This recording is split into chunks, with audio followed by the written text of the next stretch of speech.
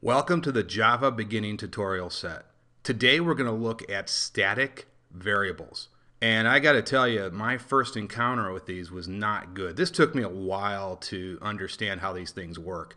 Uh, because no book really explained it that well. Now, I know I'm digressing a bit here. One of the things I've done in my own experience is to develop a relationship with several developers and kind of query them on how things work. And it's really surprising uh, when I was going through the Java book, I would take that book to some of these developers and they would look at me with a very quizzical look and go, no, no, no, no, no, that's, that's not how it's done. Here's how it's really done. And you kind of pick up uh, from the developers how things are really done in the real world. And so a lot of the information and useful tips they've given me, I'm sharing in these videos with you. So sorry about the digressing, but okay, so let's get on to static variables. So we have this nice keyword here, static, for our variable here. So this becomes a static variable. And we come down here and we've got a static method. Now, static variables are just that. They're static. They never go away. Think of them as like a cliff against the raging sea. They don't go away. It's always there no matter what. It's like a rock. Object or instance variables, as we know, do go away with the lifetime of the object. So think of objects, I like to think of them as on demand. We need some work to get done, the object is created, and then we get to use this variable, and then when the object's done, all this goes away. Static variables, never. They stay around, well, they don't stay around forever, probably for the lifetime of your program, but for a long time.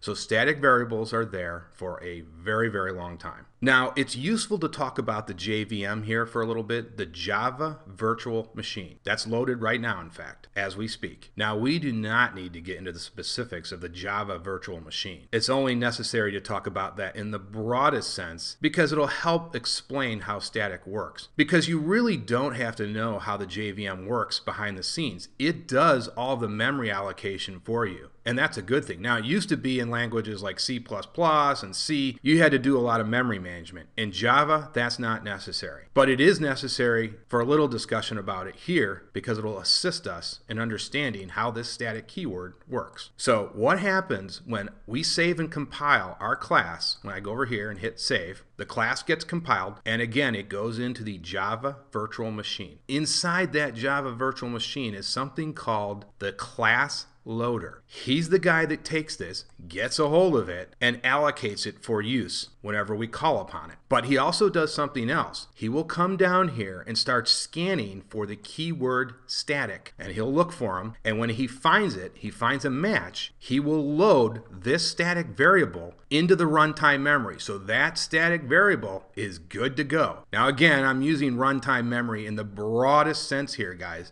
I, I, mean, we could get into the heap and we could get into the stack and all that stuff, but that is for tutorials much later on. For now, I'll just use that term runtime very loosely. So again, he gets loaded into the runtime, he's ready to go. Same thing, by the way, with the static. He's going to see this and say, oh, I've got to load this out there. He is a permanent fixture, and since there's no copies of this, we're not going to make any instances of this. This is not a object or instance. We can go ahead and load that out into the runtime memory. Same thing again with the static variable. We'll never make any copies of this. He gets to live forever. And how lucky is that? These guys, they only have a very short term existence, but the static variables, they get to survive on and on and on. Now, you don't believe me? Okay, let's go over here to the main. And for our purposes, let's actually copy this and we'll paste it back. I want to show you guys this. So copy and then let's get rid of this. Now, if we type in the name of this class registration over here,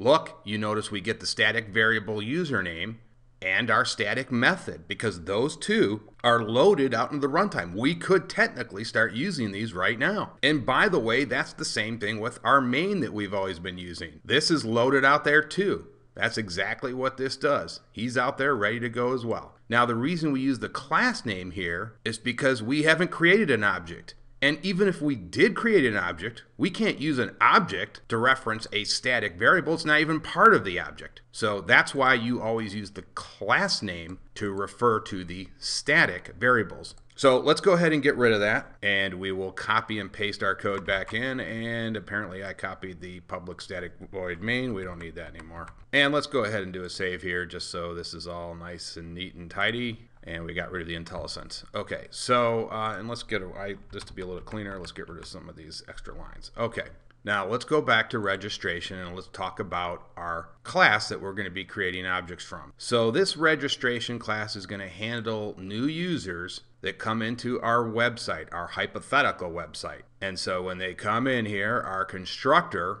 will go ahead and assign the username that they enter to this variable and then our nice little method down here put username into the database We'll do that. Obviously this is hypothetical too. We're going to return the username here and then let's just assume we have some hypothetical code here that puts that username into our database.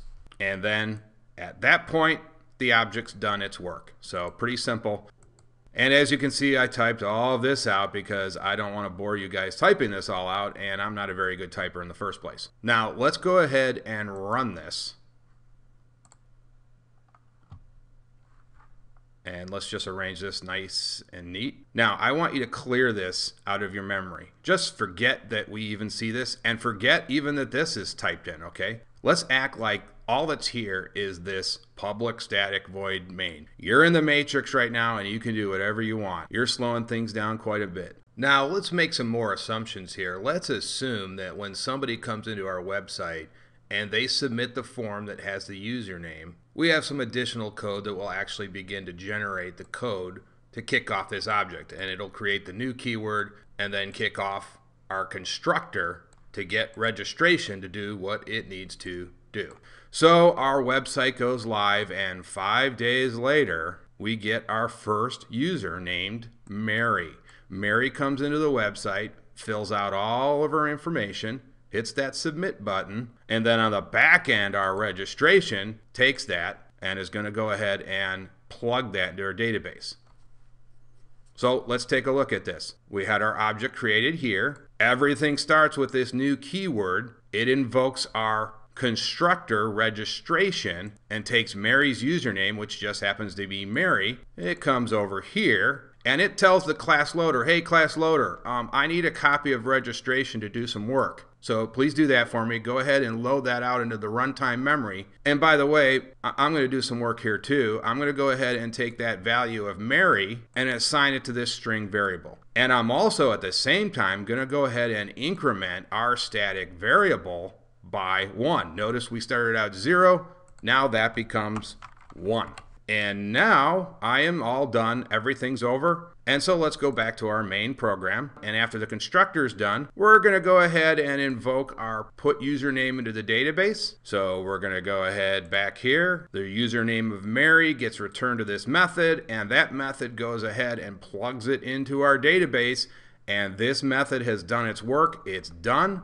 We come back to here, and this confirms that it's been done. Mary's username has been created and entered into the database. The object's life now is done as we know it and goes through a process called garbage collection by Java. That is, he tosses it out like a piece of trash. Isn't that a great name, garbage collection? Get it out of here, right? We don't want any more. Game over for that object. And that's it. Now the main goes back to its little normal life here and is just sitting here in the runtime waiting for something else to happen. Well, Mary goes out to lunch with Larry and tells Larry about this great website that she just joined. And Larry comes back to the office and one hour later, he logs in and creates his username named Larry. The event handlers and all of our listeners and all that stuff, all that other code we got to kick off our new object, there we go.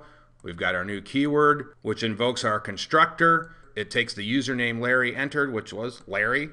We go back here and it takes the new value for this username and it is a new value. So this variable is a new variable as well, right? And he gets that username Larry assigned to him and the constructor says increment the static variable. Now the static variable, he's been out there all this time, right? He hasn't changed. His value doesn't reset. This one does. He keeps taking new usernames, but this one, it just stays the same. And so it's going to go up to 2 now. because we got another tick, tick, tick, right? It's up to two now.